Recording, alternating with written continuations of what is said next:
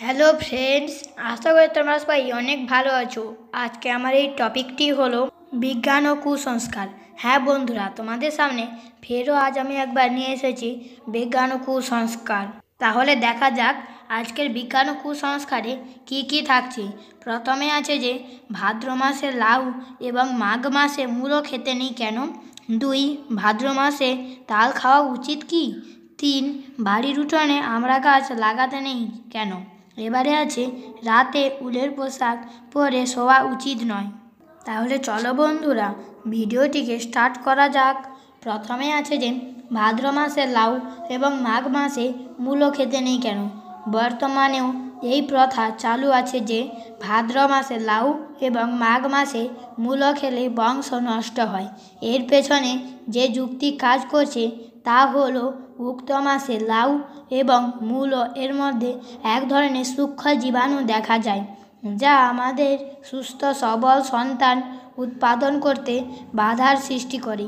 তাই সুস্থ, সুন্দর বংশের দিকে তাকিয়ে আমরা এই প্রথাটি মেনে চলি। এরপরে আছে ভাদ্র মাসে তাল খাওয়া উচিত কি?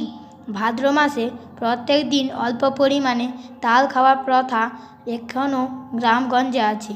এর কারণ বোধ হয় ভাদ্র মাসে ভাবসা গরম আর প্যাঁচ প্যাঁচে বৃষ্টিজনিত আবহাওয়ার আমাদের হজম শক্তির ব্যাঘাত ঘটে।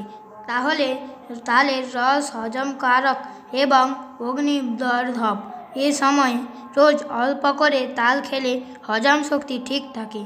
তাই বলে বেশি পরিমাণ খাওয়া উচিত নয়। তিন, বাড়ির উঠোনে আমরা গাছ লাগাতে নেই। গ্রামগঞ্জে শোনা যায় বাড়ির উঠোনে আমরা গাছ লাগাতে নেই।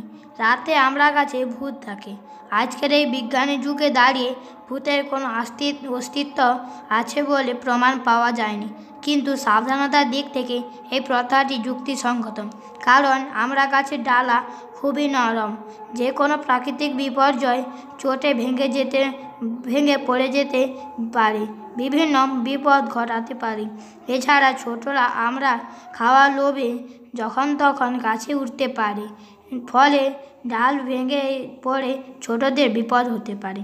এবারে আছে রাতে উলের পোশাক পরে শোয়া উচিত নয়।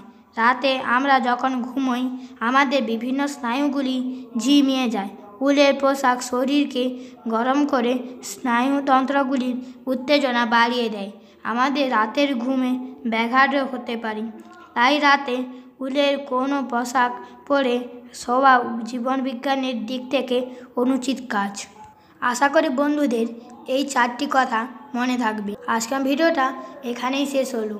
ভিডিওটি শেষ পর্যন্ত দেখার জন্য অসংখ্য ধন্যবাদ এবং আমি তোমাদের কাছ থেকে লাইক সুন্দর সুন্দর কমেন্ট এবং বন্ধুরা, আমার এই চ্যানেলে নতুন এসেছ, তাদের কাছে বলব, তারা যেন অবশ্যই আমার এই চ্যানেলটিকে সাবস্ক্রাইব করে পাশে থাকা বেল বাটনটিকে প্রেস করে দেয়।